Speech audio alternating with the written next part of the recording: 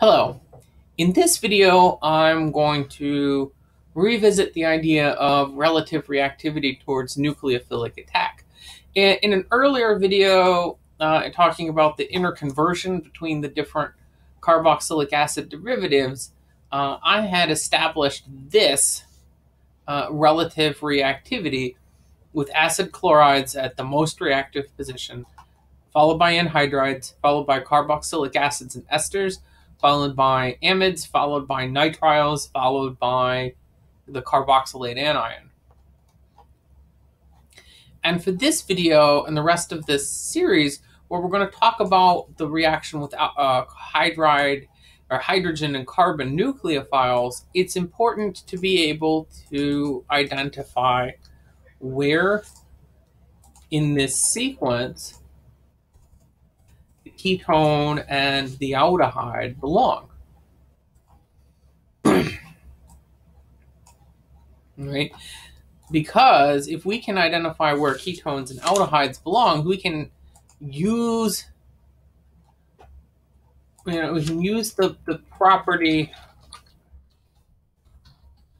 that we talked about before in the context of interconversion, that conversions from more reactive carboxylic acid derivatives to less are usually easier than, than the other way around.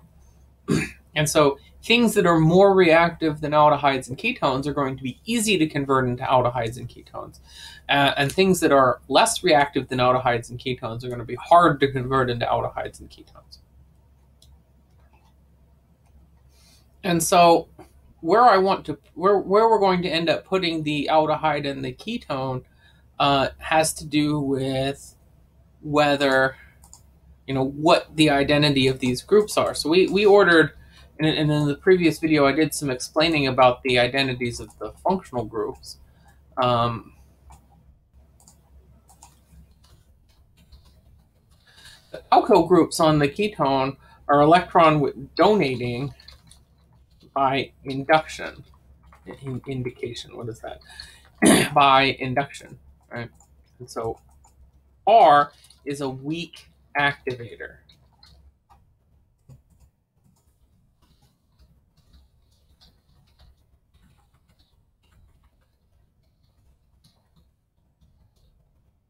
Hydrogen is neither electron donating nor withdrawing.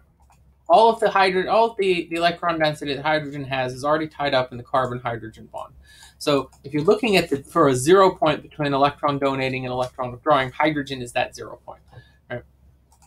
But alkyl groups are weakly electron donating by induction, so weak activator in electrophilic aromatic substitutions. So we should probably put these compounds in terms of their re reactivity, but you know, relative to the other sorts of activators and deactivators. Uh, and so that means right, chlorine as most, or the, the acid chloride is most reactive, is most reactive because it has an electron withdrawing group on it. All of the other substituents are electron donating groups. And so we're going to put the aldehyde, ooh, we're going to put the aldehyde as just a little bit less reactive than the acid chloride. Right? And then we are going to put the ketone next uh, because the ketone is electron donating by induction. It's a weak activator.